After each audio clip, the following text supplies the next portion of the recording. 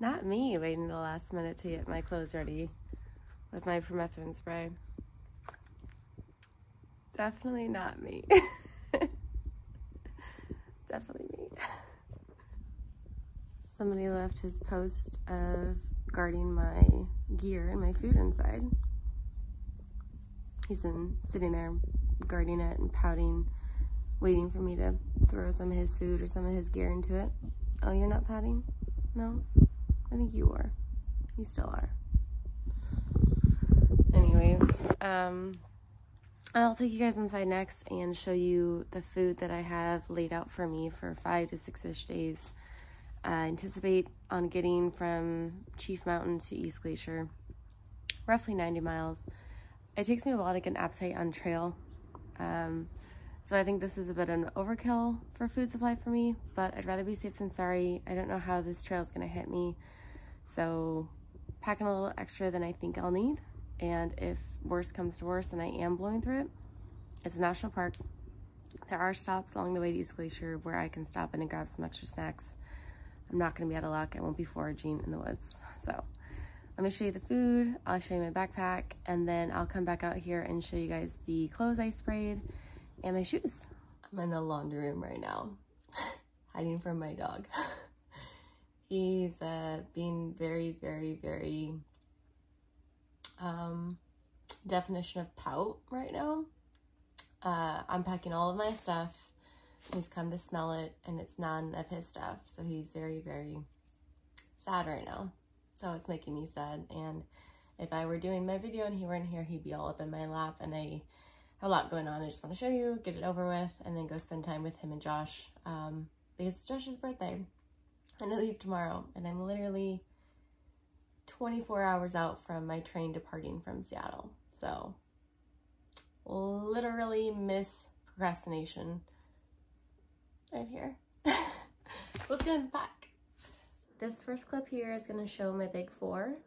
What we have here is my Enlightened Equipment zero degree Revelation regular but wide quilt. I went with a zero degree because I do sleep colder than most and I wanted to go wide because when I hike with Buddy, I want him to be able to sleep with me because he refuses to sleep on his own and I'm not about to compromise my comfort for him to sleep in my bag and have me out of it. So we also have my Thermarest Neo Air X-Lite Air Pad and my Z-Lite Sol foam pad and a Thermarest pillow, which is new to the game.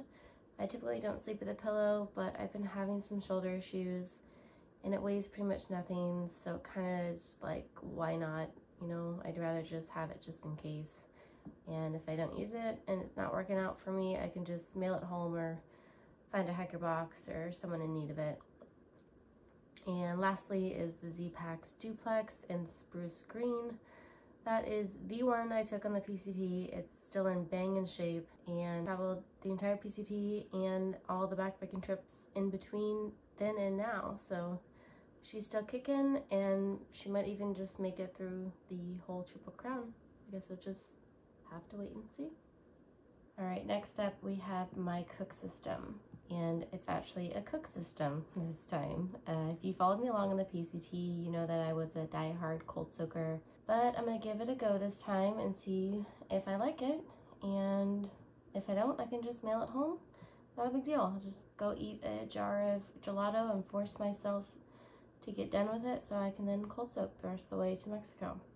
Anyways, I'm going with a Jetboil stash. I'm only taking the stove and I dialed it down on the pot because I feel like the pot is just too big for what I'm going to be cooking. So I'm going to take the 500 milliliter Toaks pot that you see up above. It comes with a hot sleeve to protect it from being in my pack. If it's like a quick breakdown situation I just need to throw a hot pot in my pack, I can protect my gear. I'm also going to be bringing a lightweight orange cup pictured above so that if I have oatmeal and I have coffee in the morning, I don't have to choose between the two. I can have my cake and eat it too. And I also have a Yuko spoon and fork combo on the left. It has a cool little bungee feature. Hopefully I don't lose it, but likely I will because that's just how the universe works. And a little Bic lighter. I also cut a microfiber towel that I can just use to kind of rinse the pot in a lake or stream downriver to try to just keep things a little more hygienic. And down below we have the Ursack Major XL. That guy carries about seven days of food for one person. Um, but I'll be putting one of those Opsak, Loksak uh, odor bags inside of it as well, so that way we can keep the odor down in addition to keeping it bear proof with that Ursack. Next up, let's dive into these ditty bags I have from Granite Gear. They sent me these things to kind of coordinate hopefully easy to find items in my pack that I can kind of consolidate into their own bag based on their color. So blue I'm using for my hydration system, green I'm using for my electronics, and purple I'm using for my first aid and hygiene stuff. So let's dive into those guys. Like I said, my blue bag will be my hydration bag, just kind of, you know, fits. So I'll be keeping my Sawyer filter in there with my CNOC 2 liter Vecto bag. And my green bag has all the electronics. So from the top, we'll start with the Nitecore New 25 rechargeable headlamp. That guy is quite bright. I like it a lot better right now, at least, more so than my BioLites I've been using. I've been using two different kinds. I'm just not happy with how well the batteries hold up and locking and unlocking it is a little bit of a hassle. I can never remember it. It's not intuitive. I just, I don't care for it. So I'm excited to get this Nitecore out on trail and see how it performs and lasts between towns with charges. Then I have a cheap pair of earbuds up there in blue. I have my 26,800 uh, whatever units for my power bank. It also has a three port quick charge wall charger. So when I get to town, I can get that guy charged back up pretty quickly. I have three cords down there. One charges my Garmin watch, my Instinct, and then another one charges my headlamp and the cheap little earbuds and then my other one is the lightning cable for my iPhone. Lastly is my luxury item of trail, which is my Thermarest sleeping pad pump. and in purple is my first aid and my hygiene kit. I have up top my eyeglasses, a contact case, extra contacts, and a cloth inside to clean my glasses. In the Ziploc baggie, I have band-aids, rock tape, an extra Sawyer O-ring for my filter, nail clippers, AAA batteries, toothpick flossers, and I think that's it. I think there's an antiseptic wipe and an alcohol wipe for cleaning a scrape if that happens. And then of course, toothpaste and a toothbrush. Up top we have my Leki trekking poles. I also have my bear spray ready to go in a holster I'll carry around my waist. I have some Xero trail sandals. This is gonna be new this time, different from the PCT. Got took them on a couple hikes and I'm pretty happy with them. So I think they will be a good addition. And they weigh like nothing. Then we have my Garmin InReach and we have some micro spikes we'll be taking in the event that we cross some snow or some icy patches in the morning time. It'll just make it easier to move more quickly when you got some grip on the terrain drum roll for the unpacking of the feminine hygiene bag, aka bathroom go bag, aka nature calls or Aunt Flo's in town. God help us all. And also my fanny pack. I'll show you what I put in there. Okay, here's a little trick for you guys, little tip. Do not risk getting your ass eaten by mosquitoes and bugs. Do yourself a favor, put a little thing of bug spray in your bathroom go bag so that when you go to the bathroom, if you're in bug territory, you're in Mosquitoville, when you drop trow, spray your ass. You will thank me later. Do your business. Make sure if you're going number two, use that deuce trowel or another trowel, something to dig the recommended depth. Do your business wipe it up with a wet wipe. Put that dirty wet wipe in a trash bag, an empty Ziploc baggie that you can pack out into town to throw away, and then clean your hands with some hand sanitizer. Please do all the above. And then lastly, if Aunt Flo's in town, I pray to God she ain't coming. She wasn't there on the PCT. But in case she shows up, I do have a Diva cup. I will be ready.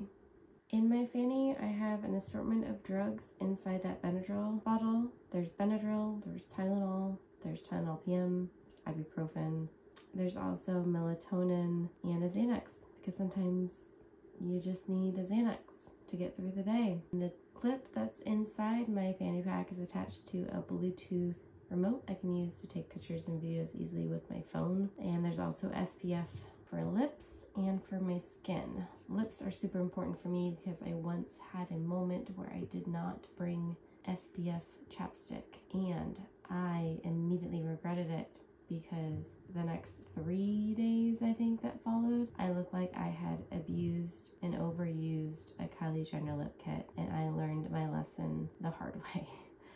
So, 15 in my Bliss Blistex, 30 in my Banana Boat. This is a layout of clothes that I anticipate to be wearing sometimes, but for the most part, I think they're going to be in my pack. So up top we have my Arc'teryx Norvan SL rain jacket, which is performing quite well in the test runs coming up to the CDT. It kept my puffy that you see down below, that nano puff, completely dry in downpours. I also have a Carhartt beanie, hat from Used Gear UST. I also have some lightweight gloves from Head. My fingers get quite cold. I can't go without gloves pretty much all year round. So even in the summer.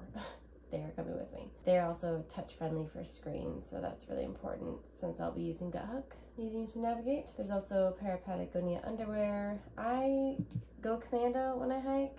However, if my shorts are drenched and I get to camp, I want to get out of my wet clothes as quickly as possible and warm up and I can just slip on those underwears and they can look like they're bikini bottoms. I really don't care, rather than just be butt naked at camp. I also have some socks down below. I'm taking three pairs. That will be one pair I'll be hiking in mainly will be those Darn Toughs in the middle. In the event that I get some hot spots or some blisters, it's really important for me to get my feet into Injinjis. They're most happy in those when I have hot spots. Separate those toes and keep skin from rubbing together. And um, at night, like I said, I get quite cold, so I need some socks to sleep in. So I'm going to be taking some smart wool socks there on the left to keep my feet nice and toasty at night.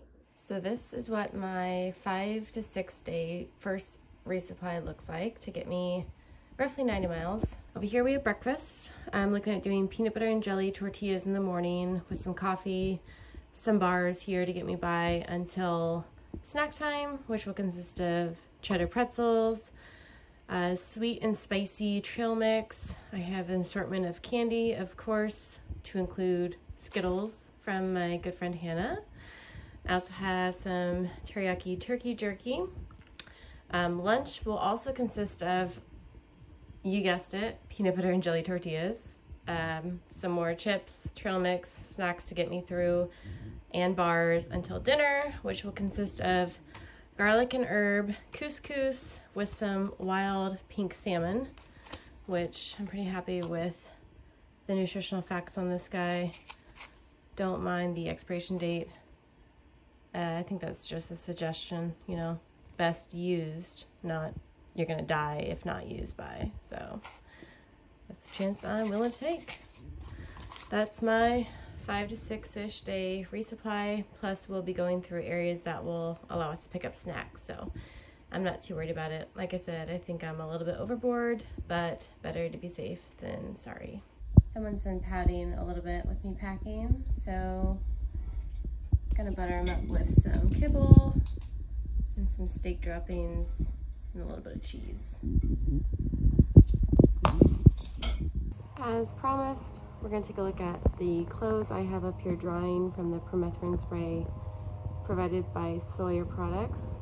Uh, the only thing that's not up here that I'll be wearing typically while I hike is to be the CDT buff. They don't recommend spraying articles of clothing that are considered inner clothing. So caps, underwear, of like spraying the inside kind, um, inside of the sports bras. Don't spray the inside of the sports bras. The first thing up is the Melanzana Melly Microgrid Fleece, very popular choice among through hikers. I love mine and will probably be getting another one when I go through Leadville. Athleta 5-inch biker shorts that have dual pockets on the outsides for, you guessed it, obviously snacks. Almond butter on one side, graham crackers on the other. I have a thrifted outdoor research t-shirt. I don't know who got rid of this thing, but I would love to thank them personally. This guy weighs, I think, like two and a half ounces. It's really lightweight, dries really fast. And It's a really cool, bright color. Lastly, I don't need a whole lot of coverage on top or support. I'm not really that well endowed. My stature can get away with pretty much the bare minimum. so I'm going with a Calvin Klein bralette that I wear quite often um, in my day-to-day -day life. And I've done it while hiking too, so this is what's gonna work for me on trail. It may not work for you, but we're all different. That's what's so amazing about us. I'll show you guys the shoes next. All right, these are the Salomon Odysseys. They are super comfortable. This is my third generation I've had since getting off the PCT, and I've put in quite a bit of miles on the former two generations. They typically come with traditional laces, so they have a bit of a wider, more generous toe box fit. Um, but I still like the bungee laces. I still like to not have to worry about if my laces are coming in tied that sort of thing. So I went ahead and just started getting into putting these cheap little laces I get from Amazon, and I love them. Um, they're super cheap, but they ask, they last the entire length of the shoe. I've never had to change them mid shoe. The shoe blows out before I can change laces, so they're pretty legit. And I also have Superfeet trails in there as well. Been wearing them for about a month now, uh, two months now. Um, they are super, super comfortable. Um, so I'm pretty excited to get those on trail, get some miles in them and see how they feel out there in the dirt. Um, apparently someone's done with dinner. I think he inhaled it. I don't even think he even tasted it. And he's now in the tent. So I think he's got this strategy of like, I won't notice. I'll just roll it up, be like nothing's even in there and take him to Glacier with me. yeah, little does he know he's not going. So yeah, that does it for this first video. You saw what I'm going to be taking on trail as far as gear, as far as my first stretch of food. And uh, next time you see me, I will be in Montana. I will be reunited with Julia and I'll be meeting Gail and we will be heading south on the CDT. So until then, stay safe and I will see you guys soon. Bye.